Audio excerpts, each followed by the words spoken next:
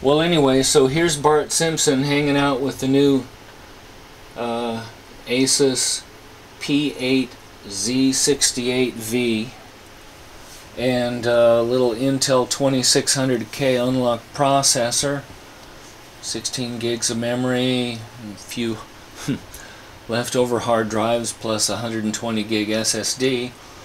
It's kind of waiting for a good video graphics card like an EVGA GTX 570.